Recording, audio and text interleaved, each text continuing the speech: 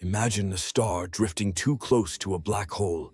Its immense gravity starts to stretch the star, pulling it into long, thin streams. This wild process is called spaghettification.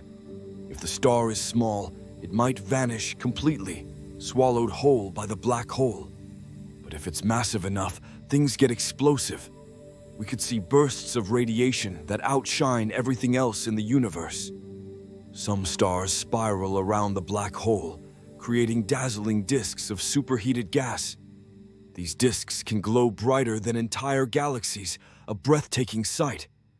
When a black hole merges with a star, the universe trembles. Gravitational waves ripple through space-time, a cosmic dance we can now detect on Earth. These collisions aren't just chaos, they're clues to how galaxies evolve and how black holes grow. They reveal the unimaginable forces shaping our universe.